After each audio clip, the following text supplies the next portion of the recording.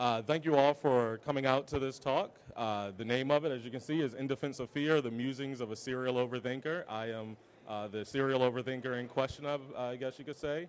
And uh, my name is Joseph Carter Brown. I uh, call myself a dev designer because the, the world of web and, and design, or web development and design don't really uh, uh, encompass me fully on either side to the straddle the line. So I call myself a dev designer for that reason. Uh, and by day, I am a front-end designer at U, uh, Unleashed Technologies. You can find us right over at booth 110. And uh, by night, and actually, by the way, uh, Unleashed is right up the uh, road in Columbia for anybody uh, local here. by night, I am the incoming president for AIGA Baltimore. AIGA Bal or AIGA is the largest professional association for designers, um, and our Baltimore chapter has a number of members. We actually have a little party going on at Brewer's Tap, starting at 5.30 if anybody wants to join us.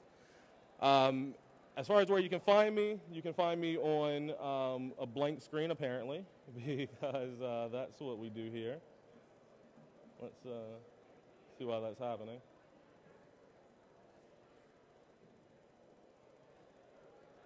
All right.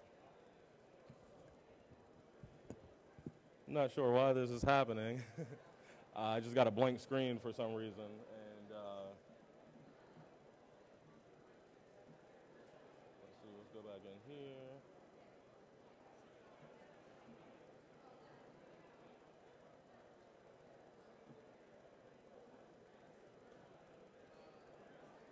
By the way, this doesn't do anything for the fear quotient when you're talking about a fear of fear talk. This does not help. Let's, uh, there it is. All right. so um, you can find me on social media at tw on Twitter and Instagram at a Brown Creates. You can find me on uh, Behance or Facebook on at slash AB Creates, and you can find me on LinkedIn at Joseph Carter. Whoops. Wow. Excuse me. Sorry. I'm having a little bit of a technical difficulty here. All right, let's get back. So, um, all that stuff, you heard all of these things. Uh, LinkedIn at Joseph Carter Brown. Um, okay, so a few fun facts about me. Um, again, my full name is Joseph Anthony Carter Brown. There's actually a junior that shows up in there as well. Uh, so since I have so many names, that uh, are incorporated. I like to uh, add as many as I can to those. Uh, so my favorite is Sir Joseph Anthony Carter Brown Jr. III Esquire. So if you are addressing me in any formal situation, please use the proper designations. Um, as far as hobbies, I like sports, bad jokes, obviously, animals, cooking, and animals cooking. Like that guy there making waffles. Um, I told you I like bad jokes, right? Uh, I also love design, and you can't talk about love without talking about your family, so I love my family too. They're going to watch this recording later, and I don't want them to yell at me. Um, another thing you should know about me, though, that is, I don't belong here. At least that's something I tend to tell myself. In a lot of places, I don't belong there. Um, and a few places I want to talk about are three in particular. I didn't belong at Apple. This was my first job. I was a fresh-faced 18-year-old working at the company I love, you can actually see how much joy is radiating off my face right now. Um, but uh, I didn't belong here. It was my first job. I wasn't a salesperson. I was working with a lot of sales and techie people. I was a techie guy, but that was, a, that was about it. Um, I didn't belong in my, my uh, one of my biggest biz, uh, business ventures, uh, which was Rogue Squirrel, me and my three partners in the background there. Um, I didn't belong there. I didn't have a business degree. I had some cursory knowledge of how to run a business just from doing freelance and little projects, but never really run a big company. And plus, we were in the middle of an economic downturn. Uh, so how was I, this guy who had not really a lot of knowledge in this area, able to survive, um, especially when me and my partners all got laid off from our uh, ad design job at the newspaper because it's a newspaper. And um, yeah, so I didn't belong there. And I didn't belong uh, when I, I, I, had a very unorthodox history as a designer. Um, I started out, taught myself, and I went to school later. And when I went to school to finish my degree, I didn't belong there. I knew that uh, I was going to get run out of the place by all of these vastly more talented people, and um, I would be figured out pretty quickly as a fraud who really didn't know what he was doing. So um, there have been other, other times in which I felt the same way, uh, but these are the three most uh, prescient to me. And, um, and when I reflect on them, something that's become apparent about all of these things and that I've learned over the years is that we treat fear all wrong. You know, if you think about how we associate with fear as a society, we sort of treat fear like the guy at the party that nobody wants to hang out with. You know, it's like get him a beer, and then we're going to go to the other side, and hopefully he'll just roll out a little later. Um, and that's sort of how we always discuss it. Even if we think about the language we use when we talk about fear, uh, we use words like uh, uh, shed our fears, or overcoming fear, defeating fear, uh, removing it, confronting it. Um, we even call it, we consider it weakness in a lot of cases. When you're fear, you're weak, and that's how we associate with it. Um, even everybody's favorite Muppet, Yoda, has some pretty strong words about fear, which I actually don't think it's fair because only the Sith deal in absolutes. So that's sort of an absolute statement. I think he's got some explaining to do. Um, but, you know, all of this is just how we associate the language as it pertains to fear. And when I reflect on, again, those, those experiences that I'm talking about, um, I think we should change our language, adjust the language that we use when we talk about fear. So instead of things like shedding our fears, we should start understanding it. Instead of confronting it or treating it as an advers adversarial uh, emotion, uh, we should respect it. Uh, we should make it our sor- make it a source of strength, use it as a source of strength, and start to embrace it, and even nurture and maintain it. And the reason I say that because if you think about it, fear makes us better. Biologically speaking, fear heightens our senses, it elevate, elevates brain function, it prepares us to act in many ways. And it's helped us really survive as a species much more than a lot of things we, uh, we probably give credit to. Uh, if we go way, way back and we talk about early man, if you just think about all of the, the struggles and all of the, the environmental concerns that you had to deal with back then, I'm pretty sure fear was one of the reasons we were able to survive pretty sure they figured out how to harness fire, not because they were just like, hey, this looks cool and fun. It was like, hey, if we don't, if we're not warm, we might not be here tomorrow. So I'm pretty sure there was a lot of fear that had to be used to get from there to here, right? So fear played a role there. But let's make it a little more modern. Um, I'm sure everybody's familiar with the comedy duo of Key and Peele. Um, there's a great story that I heard um, uh, Key, the one in the blonde hair, um, I heard him give on uh, uh, NPR, and he was talking about how he and uh, Jordan Peele, the one on the on your left, uh, how they they met, and they met early in their comedic careers. Uh, they became friends very quickly because they were similar people. They were both biracial. they're comedians. They were in a new place. They were learning all these new things, and so they hit it off really quickly. Fast forward a few years later, they crossed paths again professionally. This time they both had joined the cast of Mad TV. And that's got to be pretty cool when you think about it, right? Everybody, that's what everybody wants to do. They want to work with their friends. They want to play on the same team as their best friend, and everything is going to be great. So they're living the dream. Uh, but one day, they're hanging out, and, and Jordan Peele, uh, again on the left, says to Key, says, you know what's going on here, right? And uh, Key goes, well, you know, we're, we're enjoying ourselves. We're doing it. We're doing what we always wanted to. And he goes, well, yeah. He's like, but we're also competing against each other. We're too similar people for them to keep us here. There's no reason for them to keep two people who have such similar backgrounds, such sim similar com comedic styles. Uh, there's no incentive there. So they're going to see who performs the best, and then one of us will be out based on that.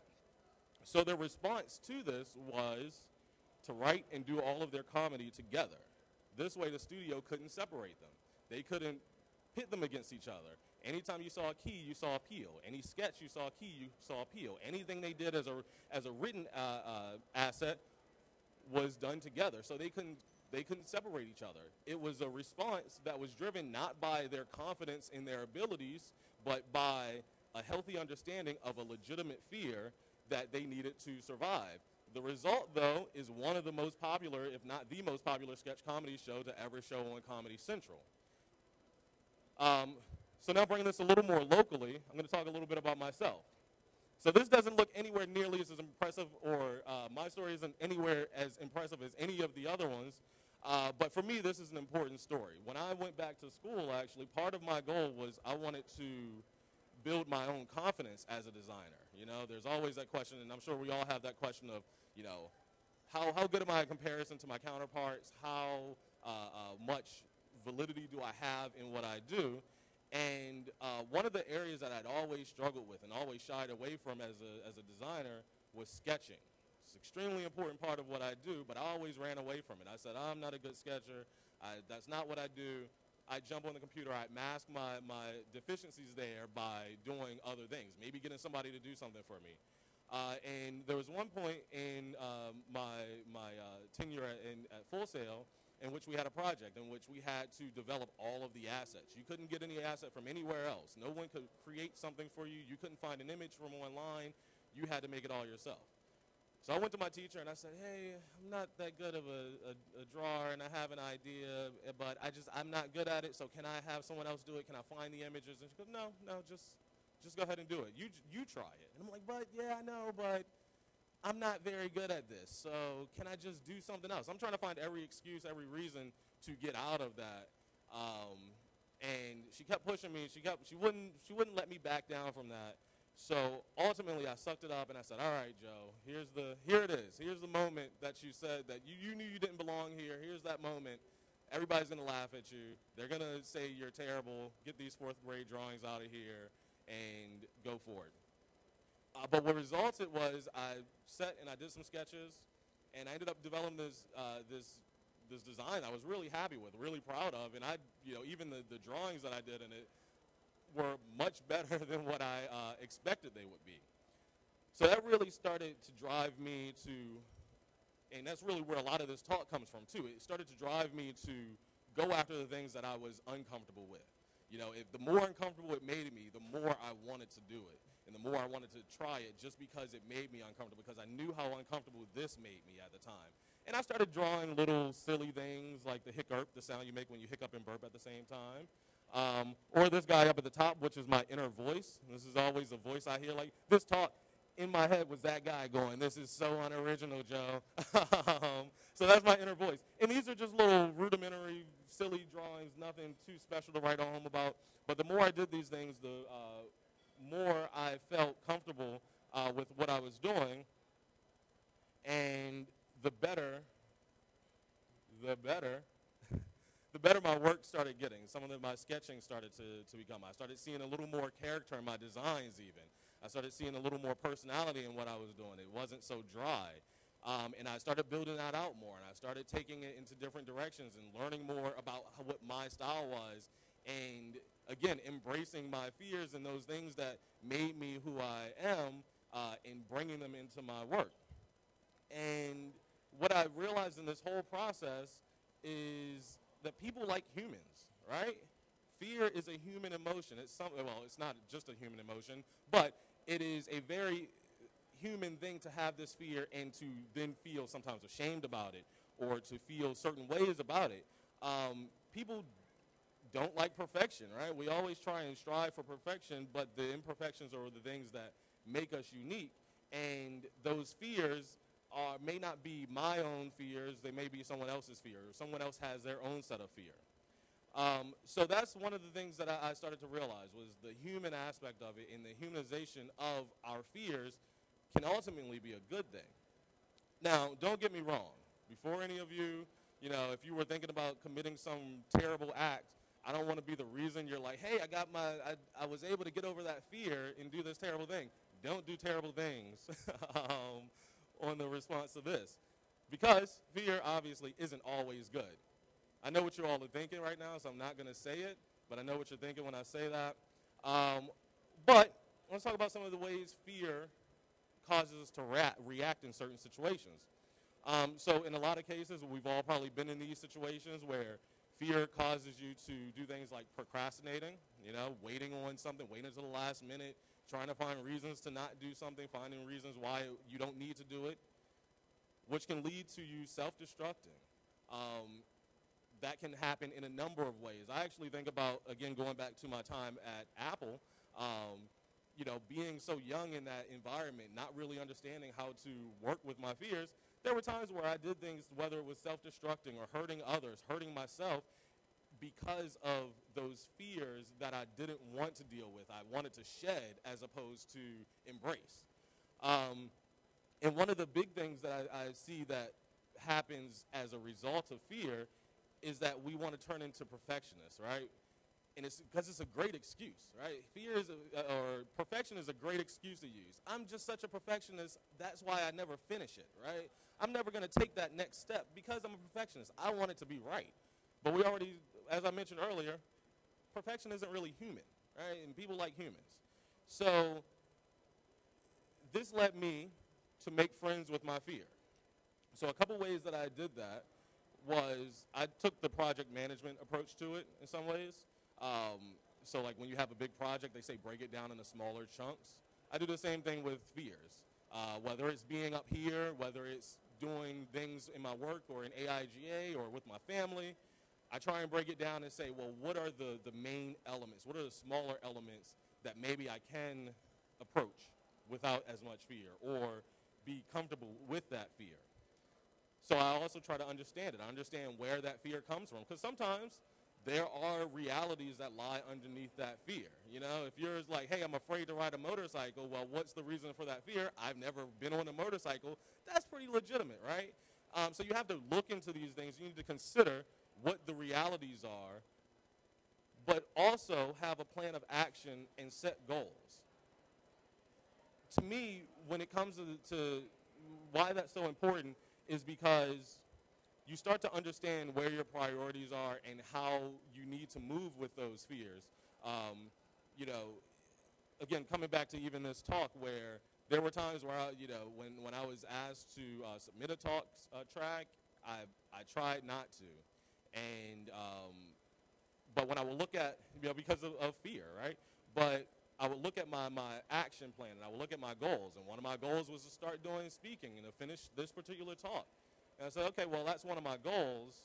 Even though there's fear behind it, that's one of my goals. I'm going to keep pursuing that. I understand it makes me uncomfortable. I understand I'm scared. That's good for me. Um, and then what another part of this is, and this is extremely important for me, and that is reflecting constantly, uh, especially when those fears are strongest. The stronger a fear is, the stronger uh, those doubts are, that's when I reflect. And even going to those first three uh, uh images I showed, those are the areas I tend to reflect on. Because when I started the Apple, like I said, I was a, a, the youngest guy in the store, had not much experience doing anything more than tinkering with computers and, and being a nerd about it.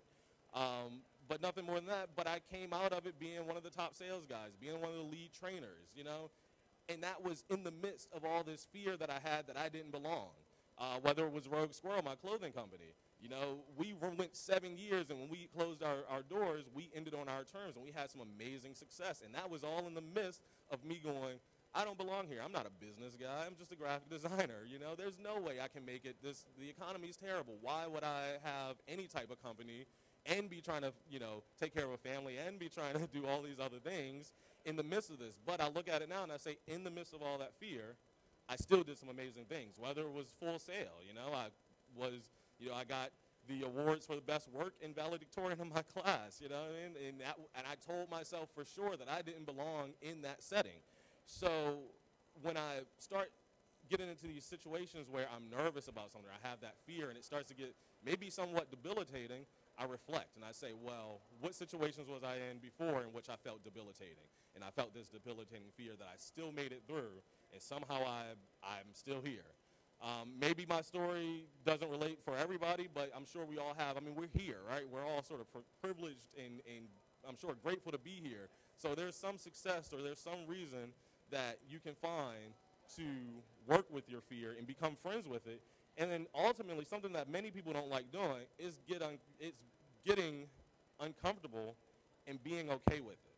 Being um, okay with the ambiguity of what these situations are uh, because it's always going to be there, and it's really part of the package. Um, and then the other thing is, I would I, I always try and remind myself, and I would say remind yourself that hey, it's okay to be in fear, right? When I'm talking again, talking about the talk, um, it was really funny because I, I came up with every excuse, right? I was, oh, I, I'm still working on the talk. I don't have it fully developed. Oh, it's, you know, the idea could be better. All these reasons that it wasn't the right thing.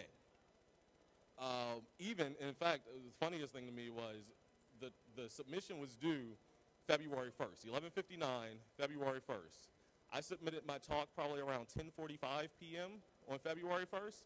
I tried to come up with every reason not to do it. Well, maybe my internet will go out, and then I will just won't be able to. It won't be my fault. It'll be everything else's. But I had to still do it. Um, and that's because, honestly, this shit is scary, right? Like we put a lot of hard work into this. We put a lot into what we do. We care. I care about everything I do. So of course I'm going to be a bit scared of how you all are going to react to it, how much you're going to accept it, how much other my clients are going to accept it, whatever. How much me getting my daughter's case about her karate is going to either ruin her life or make her life so much better. I don't know. um, so it's it's scary, and to me, that's not a reason we should stop. It's one of the reasons you should try harder. You should keep pushing harder, and you should try and make it even scarier if you can. Make it scary. Get them more uncomfortable because that's really where your growth is coming in.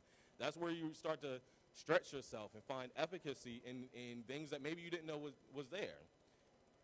And even when you start to find that efficacy, you're still going to be scared. But the question that I always ask myself, how many opportunities do I let slip by simply because it's scary? And how many opportunities do we continue to tell ourselves we're not ready for, no matter how much work you put into it, simply because you feel, oh, I'm not ready. It's not there yet. I need more time. Because really, the fact is, most of the time, we're not ready. You know, I'm pretty sure all of us in our first job, nobody can say definitively that you were 100% ready for your first job. You might not have been in, ready for the job you have now, but you get there, you figure it out. And all the practice in the world really doesn't prepare you for the real thing. So if you're going to fail, you might as well fail early. You might as well fail spectacularly because that's what it's supposed to be. It's part of the process. And if you're not scared, I can almost guarantee you that you're not doing the right thing. Because it takes a lot of courage to make friends with your fear. It takes a lot of courage to do a lot of the things that you want to do. But there's a lot of success that comes out of that fear. And I want to sort of wrap this up and talk about the word courage. Because while we have usually a, an, an adverse reaction to the concept of fear, I'm pretty sure no one thinks negatively about courage, right? We all, you know, look at courage as one of those great qualities that everybody wants to have, everybody wants to say they have. But if we consider what the meaning of courage is, one of the things we'll realize the ability to do something that frightens us. So to frighten you, right? That means fear is part of courage. That means if you spend all your time trying to shed your fears, trying to discard your fears, dismantling them, then what are you doing to your courage too? What happens? Where do you find your courage? So that's pretty much my talk. um, I thank you all for sitting and listening to me. Thank you for dealing with some of the, uh, the technical uh, issues. I'd like to, you know, open it up for any questions if there are any. And um, otherwise, I do thank you guys for being here.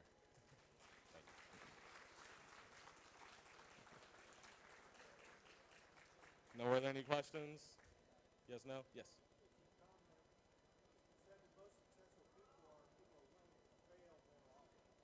Yeah, the most uh, the most successful people are the people that are willing to fail most often. Yeah, no, I think that's definitely, I think that's absolutely true. Um, I think one of my, one of the, the quotes that I came across that really um, helped me was, if you're not, it was, if you're not failing, you're not trying. Um, and I actually, again, going back to the Full Sail, like I actually made a statement where I said my goal, like I was talking to one of my advisors, I said my goal this semester is to fail. Like not in a bad way, not like I'm not going to do the work and I'm just going to sleep through everything. It was more like I'm going to go at. I'm, I'm going to do everything that made me uncomfortable and the things that I thought I was bad at in an attempt to fail at it so that I get better at it. Um, and ultimately, again, it led me to a lot of success in school and, and has continued to help me. Um, so no, I definitely think that's a great, great quote. Cool. Well, if there are no other questions, um, just want to give a quick reminder. Uh, Friday, April 28th, uh, there are going to be a couple sprint sessions going on uh, for you all to check out. So please do uh, take a look at all of those. Um, also, I will be sharing um, these slides uh, via my, my Twitter account at abrown_creates. I'll just tweet out a link to it with the, uh, the survey link. But if you, um, you know, if you have the, the quickness to type that in or want to take a picture of, of that to find the slides on the website or the survey, uh, feel free to do that. Besides that, once again, thank you all for your time and have a enjoyable rest of the conference.